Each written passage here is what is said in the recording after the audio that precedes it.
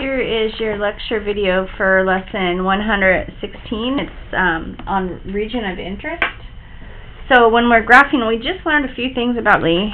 Um, and so some tools in graphing, you know, sometimes you don't want to be graphing blindly, like you don't want to pick really big values that aren't um, going to really help you with your graph. So there's a way that we can find out where most of the graph is or where the interesting parts of the graph are. The interesting parts of the graph would be maybe where they um, where the graph has a y-intercept or maybe where it has an x-intercept, where there's some turning points on the graph. Um, let me show you an uninteresting part of a graph. An uninteresting part of a graph might be way, way up here because it's not doing anything. It's just going straight up. Okay, so the interesting parts of the graph would be kind of right in the, I guess you can call it the middle of the graph, right? It would be the places where it crosses the y-axis, where, where the intercepts, where are the turning points. Okay, so there's a way to, so we, if we're plugging points into something, we don't want to be plugging points in where there's nothing good happening, you know, because those aren't going to get us any insight into the graph. So this way to find the region of interest, you can read all this. Um, you want to normalize your polynomial equation, or in other words, to normalize it means you want the the highest degree term to have a coefficient of 1. So it needs to be um, normalized. And then all you have to do, so it says in the bold, it says we, we select the normalized polynomial equation um, the constant of the greatest absolute value. So we're going to look at the coefficient, the, the biggest absolute value coefficient, and we're going to add 1 to it, and that's going to be the radius of a circle um, whose center is at the origin. Um, inside that circle, all the interesting parts of the graph are going to be like the flex points, it says all this, um, all the roots and everything. Okay, so they show you how to how to normalize something. So what all they did right here is they just divided out the um, they need their lead coefficient, the coefficient of the highest degree. They need that to be one. So they divided everything by three. And then they look through they look through all the numbers that they get after they've divided out the lead coefficient. They look through and they say, well, which one has the highest absolute value? Well, I guess 13 thirds, because that's that's bigger than all the other ones. So 13 thirds had the highest absolute value of all these coefficients, and then um, they added one. And so now they know that all the interesting parts of their um, quartic are going to be within 16 thirds of the origin. Okay, that's that's what this is all about. So we're still going to use all our graphing tools and methods that we've learned before.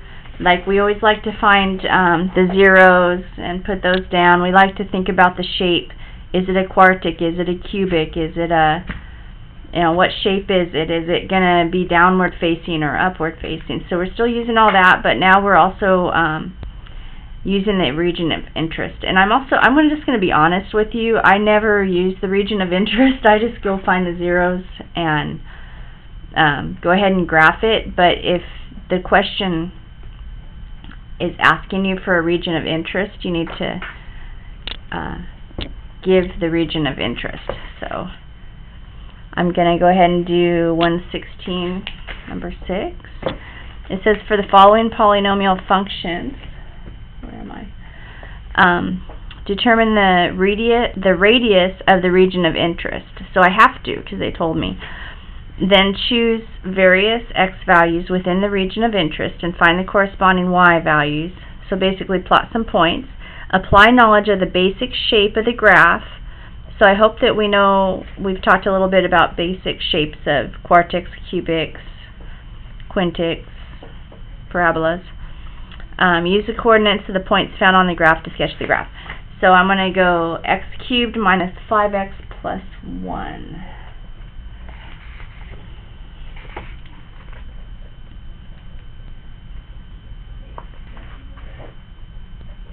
Okay, I'm supposed to graph this thing. So I know it's a cubic, so I already kind of know the shape and everything, but first I better find my region of, of interest. So the region of interest, you have to normalize the polynomial. Well, it's already normalized because my lead coefficient is 1. So then you find the coefficient that has the highest absolute value, that's my negative 5, and then you add 1 to it, to, to its absolute value. So in other words, I can go uh, radius equals absolute value of negative 5 plus 1. So that's 6. My region of interest is 6. So if I did want, I mean, I know when I'm drawing my graph, I know that all the interesting things about my cubic are going to happen 1, 2, 3, 4, 5, 6 in this area. So it kind of helps you with graphing. And it only actually only takes a second to do it. So it might actually save you some time and work.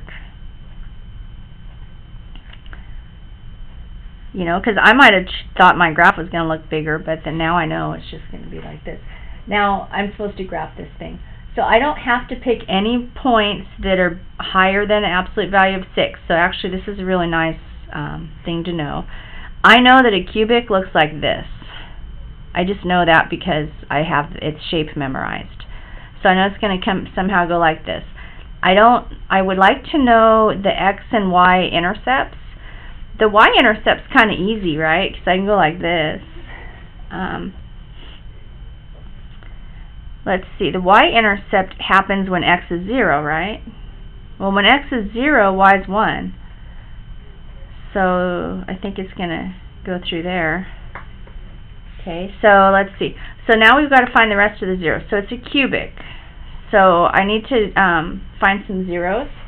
So since it's a cubic, I'll do some uh, synthetic division on it to find some zeros. So I like to always choose 1 or negative 1. I'll just choose 1. Try. I'm going to try to divide it. So um, this will be a 1. Notice I don't have an x squared term, so I have to just choose 0 for x squared. And then synthetic division. 1 times 1 is 1, 0 plus 1 is 1, 1 times 1 is 1, negative 5 plus 1 is negative 4, 1 times negative 4 is negative 4. That didn't work for me because I didn't get a zero denominator.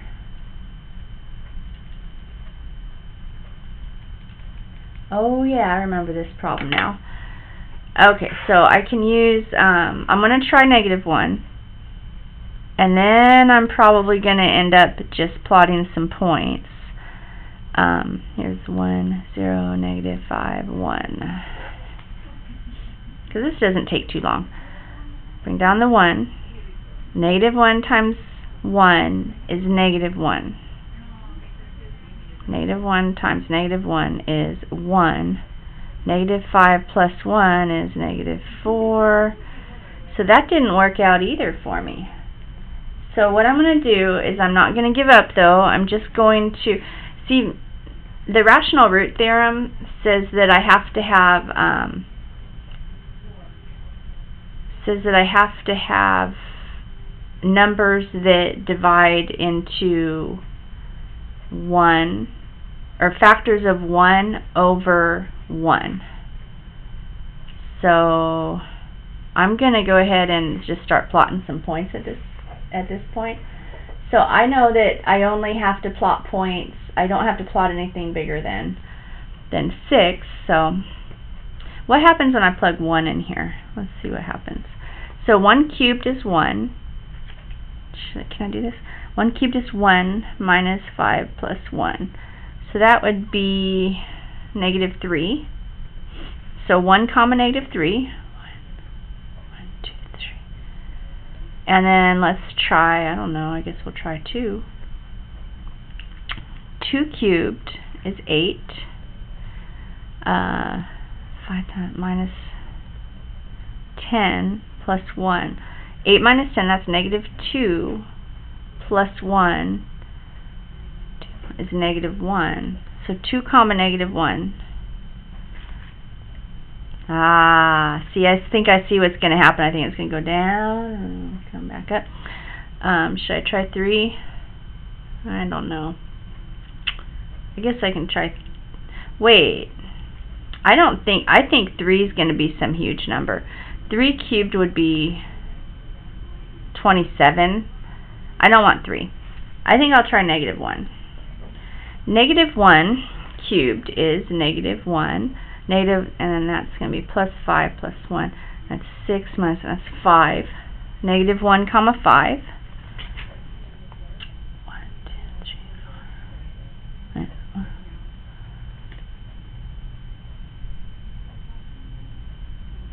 Huh. Okay, negative 1 comma 5. Negative 2 comma, or let's say negative 2. Negative 2, if I square negative, if I cube negative 2, I get negative 8 plus 10 plus 1. So that'll give me two, that'll give me 3.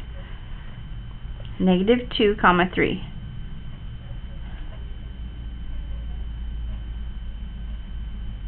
Uh, I see. So I think it's going to kind of Let's see, it's a cubic, so it's probably going to go something like that. I don't know if you can see that. Now, we don't know for sure that those are any turning points or anything. If I want to, I can make it a little bit nicer. Um, I don't know. Do I want to make it nicer?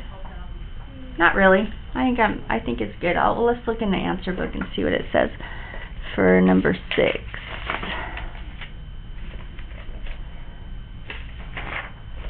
116, number 6. Yeah, actually our graph is pretty darn accurate as it is. So we're just going to, so these are just, I mean I could have plugged in some more numbers. Like I don't want you to go off thinking that these are for sure the turning points but we just know that in general these are points on the graph and we know that the graph has this general shape. So it might be that maybe it went down a little bit more over here, but really it couldn't have gone down much more anyway. And maybe it went a little higher here, but I mean how high is it going to go when it has to it has to come back down to here. Okay, so that's that's a good enough sketch of a graph.